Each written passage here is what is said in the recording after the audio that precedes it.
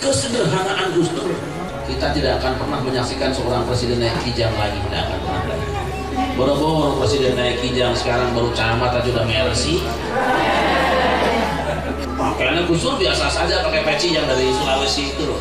Dan kita tidak akan menyaksikan lagi pemimpin yang begitu asik ke semua penduduknya semua agama yang ada dia asik. Ini yang sebenarnya Islam itu rahmatan lil alamin bukan lil mukminin Islam itu mengajarkan kasih kepada semua alam. Ya manusianya, muslimnya, Yahudinya, Nasraninya, Hindu Budanya. Itu alam apa bukan? alam kudu diasihi sapinya, kambingnya, kebunnya itu alam apa bukan? alam kudu asik Lu kamu mau lihat maka belakon pakai Jawa itulah Indonesia. Gunakanlah produk-produk Indonesia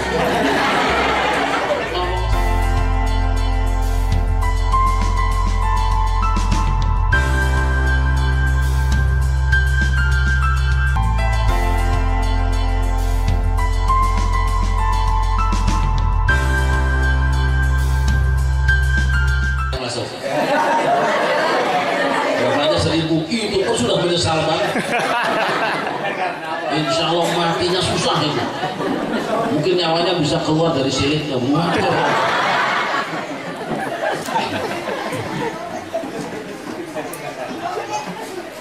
yang kedua bagaimana orang digampangkan kematiannya pas cabut nyawa itu tergantung bagaimana hatinya dengan dunia. Ibarat pohon singkong kalau baru ditanam tuh akarnya pendek cabutnya enteng. Tapi kalau akar singkong sudah panjang ubinya sudah gede betina geus badak hesek nyabut naga itu mah pating borobot putus akarnya. Begitulah manusia yang ukurannya dengan dunia. Orang yang melihat dunia hanya sekedar sarana hidup dia enteng saja. Tapi kalau orang yang cinta dunia akan berat matinya. Bukan tidak boleh jadi orang kaya boleh. Mau jadi orang kaya juga boleh mau kaya orang juga boleh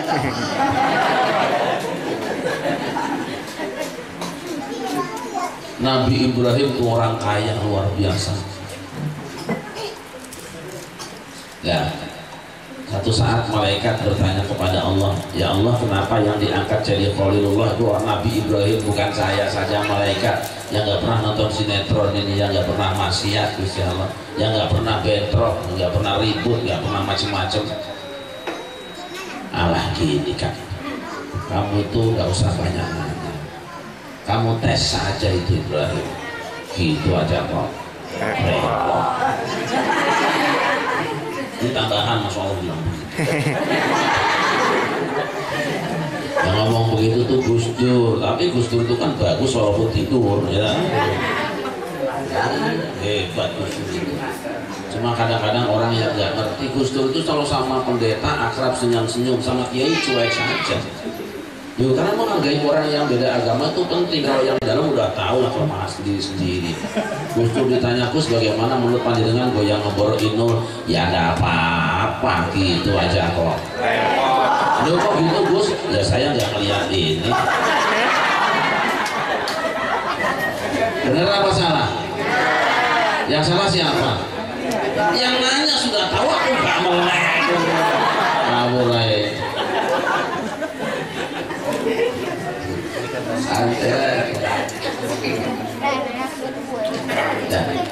lalu malaikat datang kepada Nabi Ibrahim menyamar sebagai orang tua. Jadi tamu kakek-kakek. Makanya hati-hati kalau ke rumah ibu datang kakek-kakek meminta-minta. Jangan-jangan tuh Makanya nanti kalau tua minta-minta biar bilang mereka.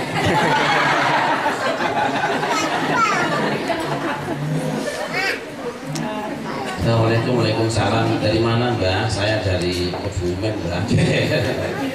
Belum Kebumen lah. Di kampung saya itu sedang terjadi krisis ekonomi Rakyat pada kelaparan karena sudah lama kemarau Tidak ada pohon-pohonan Binatang tidak pada mati Tuhan. Oh gitu ya. Terus apa? Mohon dibantu barangkali Tuhan punya yang bisa dikirim. Coba mbak lihat di belakang saya punya apa. Pas dilihat Tuhan masih ada satu lapangan ontak Wes bawaan ke sana enteng aja. Nggak dipilih aja Nabi Ibrahim yang jelek-jelek. Nggak ambil aja semua. Lu katanya orang pondok terus orang ambilnya yang jelek aja gitu ke bawah besok datang lagi. Saya masih punya apa punya sapi satu lapangan. Bawa sama semuanya. Ayo aja besok datang lagi. Masih ada nggak? Apa? Masih ada. Itu saya ada kambing satu lapangan boleh boleh bawa saja semua sana. Mereka tanya gitu unta sudah diserahkan ke masyarakat sapi sudah diserahkan semua. Sekarang kami serahkan. Panjenengan mau darah apa mau makan apa? Lah ini sapi, onta, kambing itu milik Allah. Aku pun milik Allah. Jangankan cuma sapi, kambing, dan onta. Satu saat aku punya anak diambil sama Allah saya serahkan uang punya Allah yang tidak mau itu kalau cintaku kepada Allah diputuskan. Wah hebat hebat. Nabi Ibrahim janji nanti kalau aku punya anak di Allah saya kasih. Memang belum punya anak kalau belum punya suka janji. Biasa itu. Saya wakil rakyat belum jadi janji. Begitu jadi malah nyolong. Ini wakil rakyat yang di Jakarta kalau yang di sini ya semua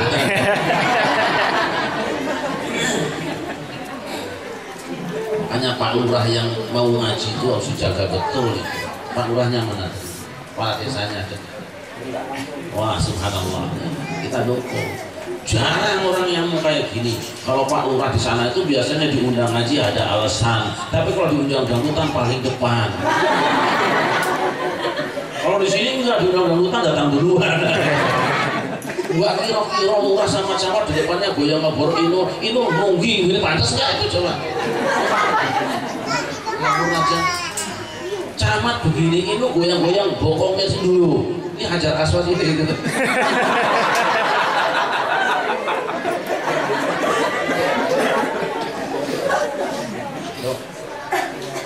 nah. Nabi Ibrahim orang kaya kenapa? Lu apa-apa gitu aja kok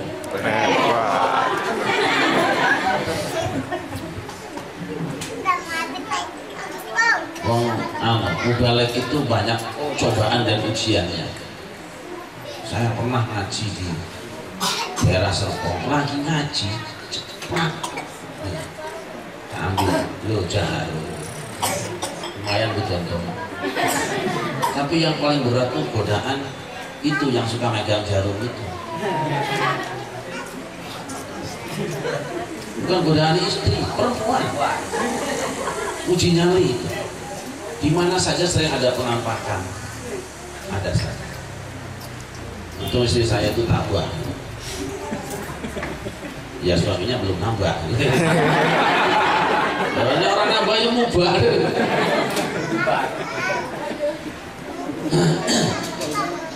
Tapi Nabi Ibrahim tidak mencintai dunianya. Ketika diminta untuk kepentingan sosial diberikan. Nabi Sulaiman itu orang kaya loh. Saking kayanya Nabi Sulaiman itu apa namanya? Semua koleksi kuda ada dan memang ada provokator.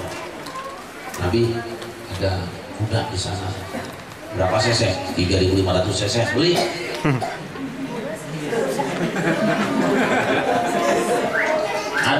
baru ya boleh nyari kan ada lagi. Itu kuda mulus banget. Semuanya original terus anu apa namanya? Pokoknya anu ada AC-nya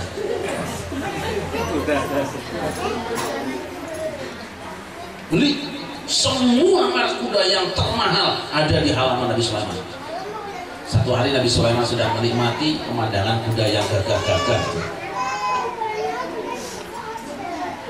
Tiba-tiba diingatkan, Man,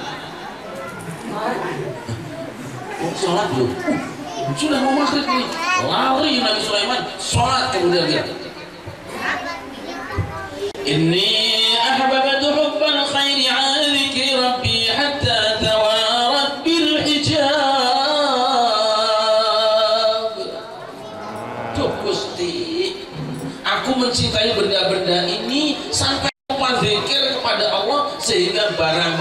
lepas dari pandanganku. Jadi kuda-kuda kekayaan yang ditumpuk depan rumahnya itu mengganggu ibadahnya. Rutuha alaiya wa tapi kalau mas suki wal anak coba kumpulkan kuda itu sembelih semua. Sumbangkan kepada fakir miskin itu Nabi Sulaiman. Kaya tetapi tidak cinta dunia. Ini kita ambil baca apa saja yang mengganggu kita ibadah pada Allah kita korbankan karena Allah saya punya motor. Gara-gara motor ketumpul mandiin motor terus. Dari asar sampai maghrib korbankan motornya jual pada orang lain. Lebih baik jalan kaki mau ibadah daripada punya motor arah jadah saya punya anak gara-gara punya anak nih kurang ibadah saya kurang baca Quran saya kirim ke pondok pesantren pindahkan dari rumah kita biar anak gak kelihatan lagi. Cukup dalam doa ketumpul anak tiap hari mau nyari jalan-jalan ke Baitul Mall lu ngapain itu?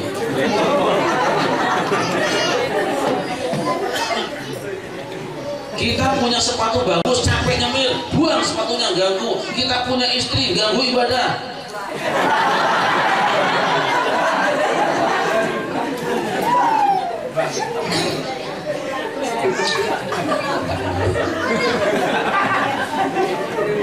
Kalau satu hari Ali bin Abi Thalib itu di rumahnya nggak punya makanan. Kemudian kata Ali Fatimah sayang, coba anu kamu menghadap bapak ya Rasulullah. Menghadap bapak, barangkali bapak punya makanan. Loh Nabi itu aneh. Pemimpin manusia sedunia, presidennya lah katakan waktu itu. Miskin tidak pernah membayangkan ada pemimpin negara yang miskin kecuali Gus Dur Pak. Saya kalau datang yuk kadang nangis juga lah yang saya biasa di rumahnya itu. Mau sama istri presiden pusing tanur itu guyon aja di rumahnya gitu-gitu. Kemarin saya belum lama khutbah di Masjid Gus Dur, pengerasnya nggak jelas bunyinya, ininya lecet. Saya turun khutbah hanya lima menit kalian durhaka semua. Ini rumah masjid presiden. Ini masjid waliullah masa system gak jelas? Saya tanya jelas gak? gak jelas. Siapa yang mau? Aku siapkan sekian juta. Kamu berapa? urunan jadi. Kesederhanaan Dur. Kita tidak akan pernah menyaksikan seorang presiden naik kijang lagi. Tidak akan pernah. Lagi boro-boro presiden naik kijang. Sekarang baru camat aja udah mercy Makanya Gus Dur biasa saja pakai peci yang dari Sulawesi itu loh. Dan kita tidak akan menyaksikan lagi pemimpin yang begitu asik ke semua penduduknya, semua agama yang ada, dia asik. Gak nemu. Ini yang sebenarnya Islam itu rahmatan lil alamin, bukan lil mukminin. Islam itu mengajarkan kasih kepada semua alam ya manusianya, muslimnya, Yahudinya, Nasraninya, Hindu Budanya itu alam apa bukan? Alam kudu diasihi sapinya, kambingnya, kebunnya. Itu alam apa bukan? alam kudu asik jin baik dari suster tuyul dan wewe. Atau si manis jembatan. Itu harus diasihi semua nggak boleh kita kehilangan rahmat itu. Wa ma arsalnaka illa rahmatan lil rahmat bagi semua alam ini. Kalau kita tidak rahmat dengan alam alam balas dendam mau apa? Yang gundulin hutan siapa? Hutan tuh pengennya gondrong loh jangan gundul. Kalau dia gundul nanti akibatnya apa? Longsor siapa? Yang rugi. Oh.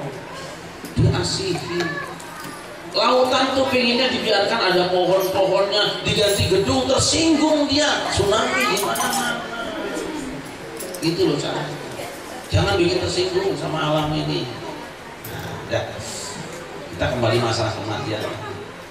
Yang akan enteng matinya itu orang yang gampang diajak ibadahnya gampang diajak ngajinya sulit ditantang maksiatnya. Yang akan gampang berat matinya itu kalau jalan maksiat dia cepat datang kalau taat dia jarang-jarang. Ini berat matinya. Saya doakan semua ibu-ibu wabil khusus yang siang ini ngaji di sini mudah-mudahan dimudahkan kematiannya. Kesenggol sepeda mati. Amin.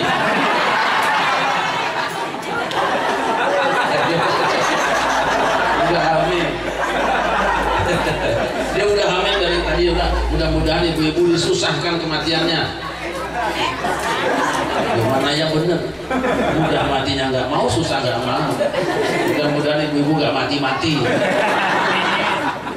Jadi jenglot lagi tainmu sombong apa tuh wa nama dua fauna ujurakum mati amat. nanti upahmu itu baru dicukupkan pada hari kiamat semua kerjaanmu yang hebat dihargai orang. Tidak ada apa-apanya dibandingkan penghargaan Allah di hari kiamat. Sejahat-jahatmu di dunia dihukum orang. Tidak seberapa dengan hukuman hukuman di akhirat. Maka kalau engkau orang berjaya engkau orang kaya engkau orang hebat jangan gila hormat. Sebab penghormatan itu bisa menghancurkan penghormatan di akhirat lah di dunia ini gak ada keadilan lah. Nenek-nenek nemu coklat kok dihukum dua bulan setengah timbanganmu giliran mahkamah konstitusi sampai sekarang belum dipotong-potong leher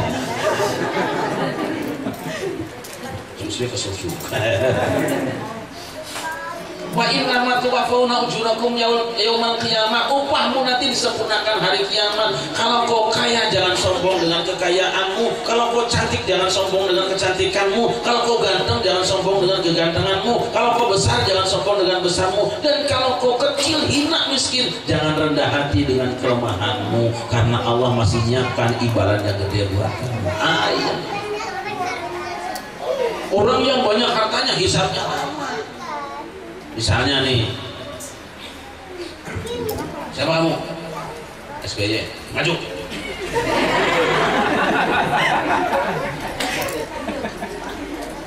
Apa jabatanmu di dunia presiden?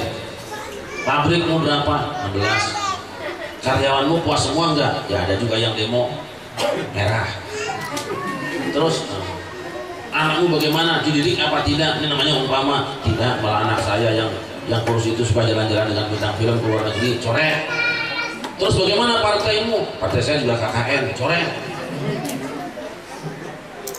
Sholat itu bagaimana? Ya lumayan belang betong coret. Mobilmu berapa? Tujuh. Rakyatmu punya mobil semua enggak enggak coret. Giliran datang. Ini nih masuk surganya lama ngitungnya aja lama urusan pabrik sekian tahun itu di auditnya lama di hadapan Allah. Transparansi di akhirat. Lama masuk surganya. Macet. Giliran Salib Ahmad. Siapa nama kamu? Salib Ahmad. Kerjamu apa? Ngaji aja baca surat fatihah doain orang. Terus apa lagi? Nyenengin orang. Kadang-kadang saya juga minta kopi.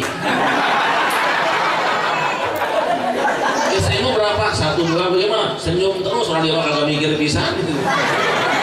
Gimana jamaahmu? Cekakak kan kalau nggak punya duit lah ini mah gak ada dosa masuk aja ke surga Jadi kira-kira masuk surganya gampangan SBY gampangan Salib Rahmat? Gampangan presiden apa gampangan Pak Lurah? Ayo. Kalau SBY itu presiden itu hisapnya lama, kalau Lurah RT cepet. Cepetan presiden apa cepetan RT? Ada nggak orang yang rebutan jadi RT? Bikin spanduk pilihlah saya RT hina betul. Padahal itu pekerjaan yang paling berat. Pekerjaan yang dekat dengan rakyat itu paling berat. Presiden mah gampang pak. Tanda tangan TKDR terjadi yang capek mah kepala desanya muter-muter. Rakyatnya disuruh minta sumbangan susahnya setengah mati. Karena saat 17 Agustus mah datang duluan nyumbang enggak. Tuh Jakarta begitu tuh umumnya. Makanya kepala desanya nggak punya peci orang nggak ada duitnya orang lain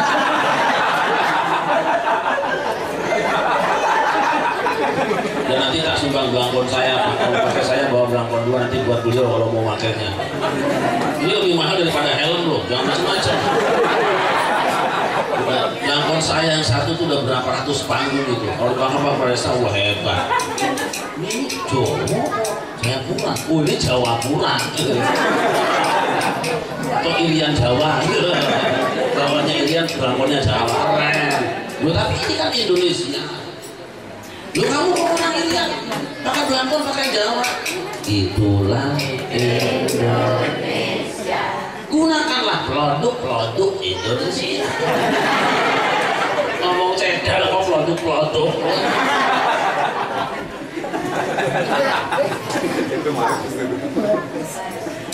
Saya baik.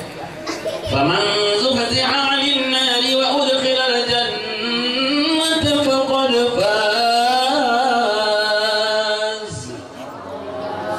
siapa yang dibebaskan dari neraka dan dimasukkan ke dalam surga itulah dia sebenar-benar pemenang.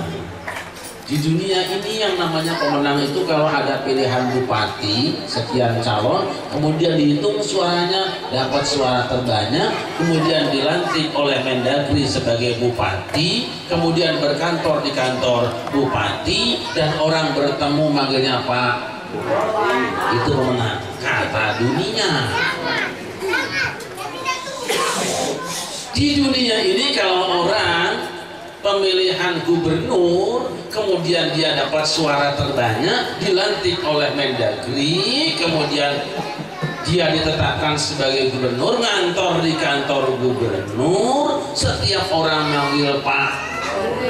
Itu gubernur yang pemenang kata dunia di dunia ini yang namanya presiden yang menang itu kalau pilpres dapat suara terbanyak dilantik oleh MPR disematkan sebutan presiden ngantor di kantor presiden dan semua orang panggil dia bapak presiden itu namanya pemenang bukan bukan itu. Belum selesai. Karena dunia ini adalah panggung sandiwara. Kapan selesainya? Kalau sudah tutup sandiwaranya dunia ini semua hanya mudah namanya sandiwara itu kelihatannya kadang benar tapi dia benar kelihatannya nggak benar tapi itu yang benar lah Roma Irama di sandiwara di film itu malah jadi pengamen. Padahal dia menyanyi dangdut yang ngetop. Nggak apa-apa namanya juga sandi. Di dunia sabar aja ada bintang film yang perannya jadi raja siapa tuh